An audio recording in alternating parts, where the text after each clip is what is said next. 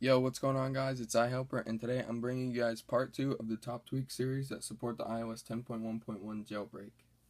So for the first week we have here, it's called Blurry Badges and as you can see by my 22,000 mail application, the way the badges look, I think it's a really nice and clean look and it just fits right in with the iOS.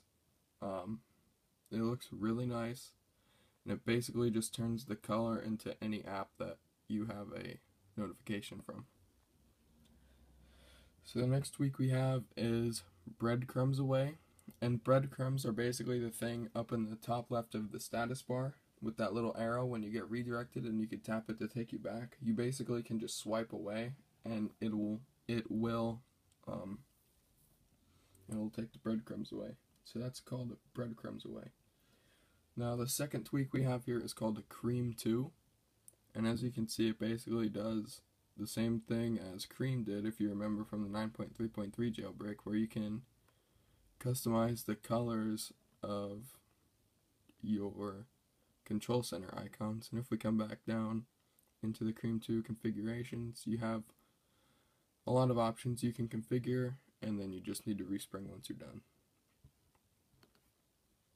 So next tweak we have is called custom carrier and as you guys can see up in my carrier at the top left. I usually have Sprint up there, but I have the Flash up there for this video. Um, uh, I don't know why I just checked the sub count. It's just a habit because this you guys have been killing it lately with that last video. The last week's video has almost two. I think it has 2,000 views now, and I got like 30 subs off that video. So you guys are just killing it. Almost almost 30 likes as well. Um, so it made me so happy to see that video do so well.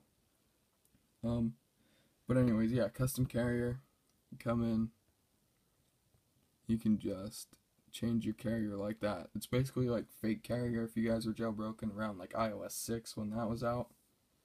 It's the same thing. And then you just hit the apply changes. Let me know down in the comments if any of you guys watched The Flash. I love that show. Okay, the next tweak we have is called delete cut. And what this tweak does is basically if you have a bunch of stuff typed out,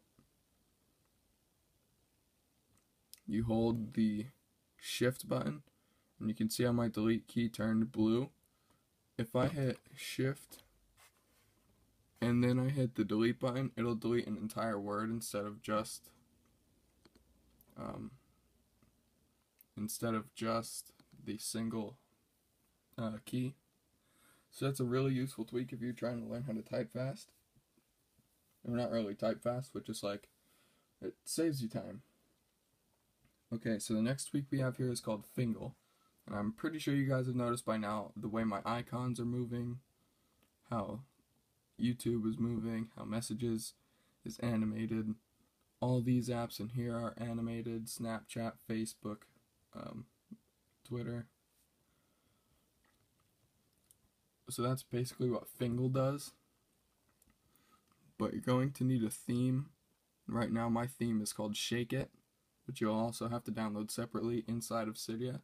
So keep that in mind when you're downloading this tweak, but it's a really nice touch and I really like it.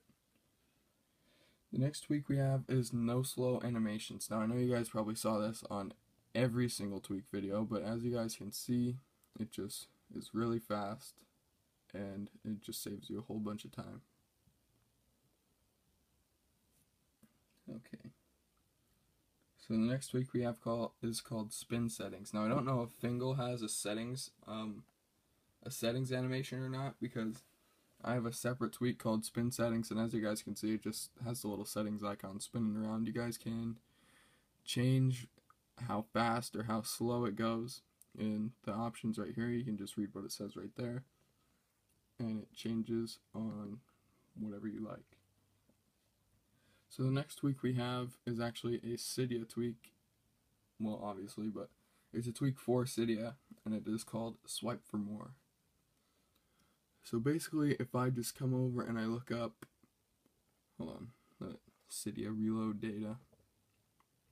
Sorry for that glare by the way Okay, if I just look up cylinder and then I swipe over on it, you'll see you have all these options to queue uninstall, queue reinstall, reinstall, and then uninstall. So that's basically what Swipe for More does. And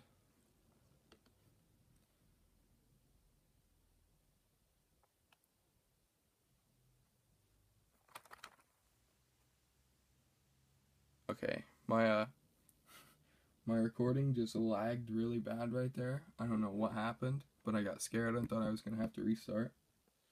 Which kinda sucks because I like the way this video's going. But yeah, that's swipe for more. Now this next tweak we have is called Cuttlefish. And as you guys can see, what Cuttlefish does is it changes the tint of the instead of that just plain gray tint when you 3D touch on an application, it changes it to the application color. So as you can see, if we 3D touch on iTunes, it'll turn it pink. If we 3D touch on calculator, it'll turn it kind of this orange brownish color. If we 3D touch on settings, it'll stay that same normal gray color. Really nice tweak, I really like the way it looks. Now for this next tweak is called Flat Safari URL.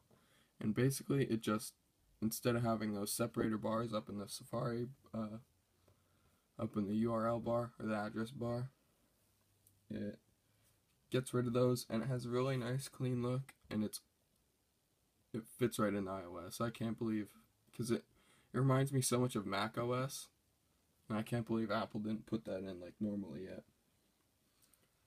Alright guys, so that's pretty much it for this quick, uh, well not quick little update video, I almost said. Uh, that's pretty much it for this tweak video. Leave a like if you guys enjoyed it.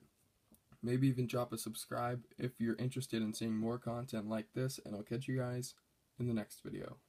Peace.